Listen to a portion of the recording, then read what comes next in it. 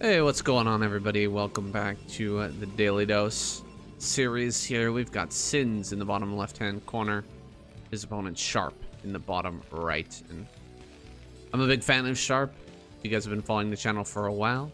You know that I met him in Thailand, and he expressed to me a very serious intention to take this season of ASL. And the way he was talking, the way uh, he was kind of committed to that project, I felt like he might have a real chance to win it here. Now, I don't know if that's going to manifest itself in the ASL, but he's got my vote. He uh, has my support. This man, absolute legendary Terran player one of the most aggressive Terrans that we've got right now. On par with people like Barracks, people like Speed, uh, in terms of aggression, but also very, very strong, very capable macro player as well. I think that he is destined for great things, and hopefully in this season. So we're going to take a look at him versus Sins, who is a very competent ladder Protoss player We've seen him in the ASL before. We've seen him in many tournaments before, but you know, he's not on the level of someone like Snow or even Rain or anyone like that. He's more of a ladder Protoss. He has a lot of different accounts at very, very high levels. Very, very high uh, MMR ranking. And, you know, he's that's what he's known for. That's what he does. Sitting here on a barcode, as is Sharp and just playing his game, which is ladder Protoss. We'll see if Sharp can handle it here. We are in horizontal spawns. The SCV just reaching the base here. Nice first scout from Sharp. He sees that it's not a Nexus first or anything like that. We are here on retro, so might be a little dangerous Nexus first against these positions the rush distance through here and up to the natural is very, very short. So you have to take that into account for both sides. This is going to be a little bit hard for Sharp, who might want to... Ooh, he throws down an engineering bay at the front, realizing that there was uh, not a Zealot being made here by Sins. Going directly into that Dragoon. Throws down the engineering bay, and that's going to uh, really slow things down. Nice catch there picking off the uh, SCV, but you know this is this is a moderate slowdown here right now. He's gonna throw down another pylon. Gonna start his citadel. Okay, going right on into uh, DT play. I think this might be a reaction to being blocked here. Realizing that he's not gonna get the really good uh, Nexus timing that he wanted, he's gonna mix it up and go for something crazy right now. And Sharp's gonna move out with his four Marines. He might try to catch this Dragoon as it's coming in, try to put some damage onto it. Just a little bit of shield damage there, nothing major, so I think Sins has dodged that effectively. Only one SCV on the gas here, so we will be seeing a CC come out pretty soon. This is very aggressive right now, what we're seeing from Sins, though. He is going really, really fast DT here. Should be starting that DT Tech. Where is the... Huh? What, what, what am I looking at right now? Are we gonna get a... Maybe doesn't have the doesn't have the gas for it yet. I guess he's just got the gas now. It's funny to see him going singularity charge. He's going for dragoons with range and going for DT at the same time. But this is a nice probing push here from Sharp which should be able to reveal a lot about the strategies going up against. Gonna dive right on top of the tank. The tank gonna be targeted down here. Really, really big kill by Sharp, or by, by Sins there on Sharp. Sharp pushing forward even further here, but he's just gonna see that there's no CC and he's gonna back away, lay down some mines here now, and, you know, start to react to this. We should see my, or we, we already have mines. We should see eBay on the way here, I think. eBay should be a good choice. There it is. eBay coming up here immediately. He's going to lay mines all the way across the map as he backs up in retreat, setting up these mines everywhere and right in front of the main base. He knows it's probably something like DT. On one base, there's not a whole lot of different builds that can be done by Protoss. There's like really super quick Reaver, really super quick DT, and not too much else. There could be like three gateways here and trying to build a huge amount of Dragoons, but he would have revealed that with the number of Dragoons that were here. He didn't see any of that.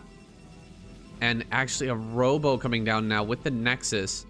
So this is putting Sins really far behind now. If he doesn't deal damage with this uh, attack here, he is going to be in a sorry, sorry state. But he will throw down a third Nexus. So quick double expand at six minutes, already dropping that third Nexus. Kind of a makeup play here from Sins. He's going to try to put on pressure with DT while double expanding. Will it end up working out against Sharp, who's done a great job thus far? You know, the probing push out from him did exactly what it needed to do. Although he lost a tank, he's still very happy that he got the information that he did managed to push everything away and now he knows for sure exactly what's coming here. Uh, aside from this shuttle he's not definitely not aware of that shuttle and that could actually pose a problem here for sharp. He's not taking that into account i think just yet. Okay he's starting to lay down mines around the outside of his base which tells me that he's probably starting to pick up on this. Laying mines down here it's very anti-drop play these mines over here still could be like him trying to run by or something. He might get caught by the mine. Uh, these mines out here are all like anti-DT walking in mines. We need another turret though, maybe. If he was actually uh, aware of a dropship coming, I think he would place another turret you know, behind here as well. We do have comsats coming up and online here. We don't have a lot of information out on the map for Sharp right now, so he does want to get some scouting going. Does not know about this third base yet, although he did see the Dragoon here on the high ground. Here comes that drop. He's expecting maybe a Reaver potentially, but it should be DT in here with the earlier DT tech. There it is. Gonna drop the two DTs out. He's losing the missile turret, unfortunately. He does have the comsat, but even if he scans here, he's not going to be able to kill that because he will immediately pick up and bail out of this position. There we go, walking within range of that turret. Can get some damage down on this, but he's actually trapped the tank. The tank is going to get trapped and killed here. Oh man, a second turret goes down and that tank falls. So he is in a lot of trouble right now. We haven't seen a scan come out, though he does have some.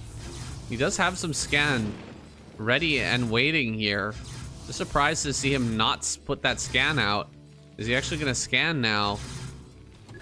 All right, he's to come after this uh, shuttle here. Try to deal some damage to that. Does pick off the 1 DT. He might be able to get this one with the mine. Going after the shuttle once again. Shuttle to be pushed away for now. But that was a fair amount of damage. You know, Sharp was not perfectly prepared here. He's to throw down a couple of scans.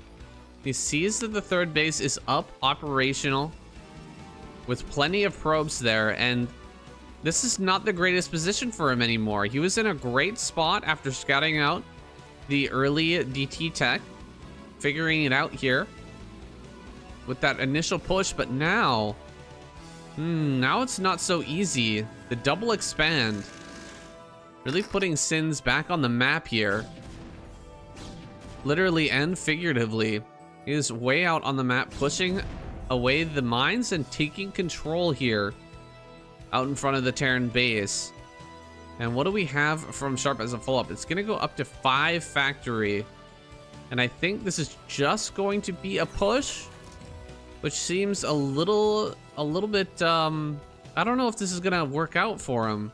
He's been saving some energy. So he's got, you know, four scan, five scan almost. Five scans with the arbiters popping out though and DT's in play. That might not be enough. He's gonna have to like turret push, I guess, towards his opponent. He's just gonna take a third base on location here. That's interesting. So maybe not gonna just shove directly over towards uh, the Protoss. He's gonna take this position, set up over here by the natural, take the position on the high ground here. This is definitely the easiest place to take on the map for Terran. This base right here. where you have the ability to siege tanks on this low ground and damage units coming up the ramp on this side. We've got vultures out on the map, getting prepared for a potential fourth base from Sins here. Recall immediately being researched, so we are going to see a recall coming out of this Arbiter. Will it be successful, though? We don't have anywhere close to science vessel with EMP. We're very far away from that. So we've got Starport here getting prepared for, I guess, that upgrade timing. Pretty far off, though, on that is Sharp right now. He's been a little bit through the ringer here. Got the base up, though. Pre 11 minutes. Not too bad. Took some damage from the DTs. But has kind of weak upgrades this game as a result. A lot of zealots being pumped out. This is telegraphing to us that he's planning to do some sort of bust here, but I don't think he can bust through this. I think this must be for the recall then. I'm gonna recall a lot of zealots, maybe go for the main. Gonna drop some DTs here in the main right now. Clearing out some positions. Not a bad idea to lead with the dropship to open up some spots here. But now there's going to be turrets laid down. There's going to be Goliaths here as well. Looks like he will be able to get in with that DT. Tries to pick off an SCV, not able to get the kill. One Arbiter here floating around the top side of the map. It's very often that you see an Arbiter follow up to a DT play. They kind of work together well. Uh, the DTs force out a lot of scans early on, and if the Terran player is trying to be aggressive towards you, you can force out those scans, and then the Arbiter pops and there's just not enough scan remaining to fight the Arbiter, the, the army under the Arbiter, so that can be pretty strong. Shooting his own factory just a little bit, though. Getting a little tickle there. And uh, the Arbiter is ready to fly in now. Again, we do not have EMP tech. EMP is still some ways away, so the Arbiter could make his way in here and deal a lot of damage. However, it appears like this is well enough defended that it would probably be suicidal to try and dive in there. Maybe he'll go for another location. Coming through this kind of choked up area. Gonna, wow, okay. Bringing the entirety of the army over here instead. And just running the Zealots up into this base. This is an interesting decision from uh, Sins here. Really, really interesting. Not gonna make too much headway over here. Looks like he's cleared out most of the army over there at the third base. The third base is being ravaged. The Dragoons go down en masse, though. So many Dragoons end up going down here. Can he actually return to this area and clean it up before this next army makes its way over to the high ground? That's going to be the question right now. Pulling out the SCVs. Ah, the Zealots can run by on this right-hand side. A bit of an oversight here from Shine, uh, from Sharp, excuse me. What did I say? Shine. Everybody's a Zerg player in my mind.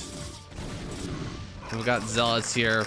Oh my gosh, that was a little bit scary. Almost dragged uh, the mine into those SCVs that were turning to work, and he is going to be able to clear out these Zealots. Losing a few more SCVs here, though, in the progress, and in the end, looks like Sins managed to get a probe up to top left. And with that probe, was able to throw down two bases. Now losing a few probes, transferring towards the top left. That's not very good. More probes even gonna get picked off here. That's pretty rough for Sins right now. He really wants to get that base in top left online. He's 10 probes behind the SCV count right now. Pretty brutal, but he will be able to run in here into the natural right now. Using the cloak from the Arbiter to get right on top of a lot of this army. Picking off siege tanks, picking off vultures here. One stasis goes down on this vessel. Well, meanwhile, another attack running up this ramp here. I think this is the perfect position, though, for these tanks over on this side. Able to kill any units that are coming up and help to defend this uh, push here towards the natural, but there's still more stuff coming into this natural and another wave of units coming from Sins over on the left-hand side here. A lot of SCVs are going to be going down. Sharp barely hanging on right now. Zealots pour in on top of these tanks. Not enough vultures right here to deal with all of this. And meanwhile, Sins is taking a massive advantage by snagging up bases in the upper left. Sharp barely hanging on at the moment. Losing control of his third, but he's still got miners over there. Still mining minerals, and he's still even on workers. To the Protoss, somehow, some way, able to hang in here Gonna be able to get Vultures up to the high ground, but can he hold off against the next wave of units that's making its way over here? Tanks are gonna be able to siege on this low ground, try to help things out. Another stasis goes down on the science vessel. Another science vessel here though, and another stasis. Oh my goodness, it's so frustrating right now for someone like Sharp, for someone playing Terran to just be constantly denied uh, by these Arbiters the ability to even see your opponent's armies coming forward here, pushing everything back, but a lot of SCVs are starting to fall here. We're down to 46. Trying to push up onto the high ground with those tanks ever so slowly. However, not a great scan here, not a great scan timing for coming out of Sharp. He's gonna lose two tanks on this low ground. The third tank is being repaired right now, but he will have to retreat for now. More and more units piling up at the rally though as Sins continues to push forward. Nice pick on that science vessel. Really slowing down Sharp so much right now. And GG is finally called. The Dragoons on high ground able to take the day. What a crazy little game we've had here. A really fun one between Sharp and Sins. That first recall was so strange, don't you think?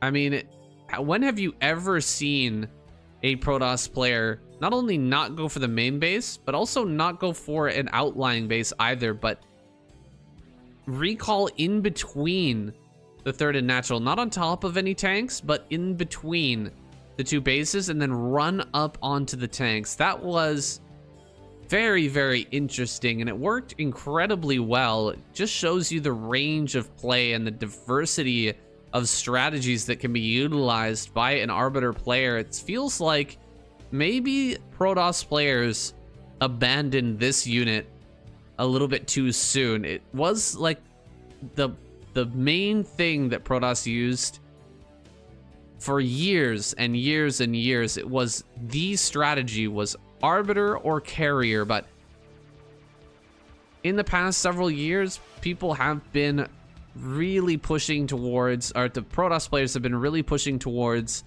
uh, instead of Arbiter going into Storm, Templar drop, Reaver drop, Zealot bombs, like bulldogging positions has become the, no the norm, but there's so much range of play that Arbiters offer that maybe those shuttles don't quite. I wonder if we're going to see a resurgence in Arbiter play sometime in the future, guys. This has been your Daily Dose of Brood War and I'll see you tomorrow.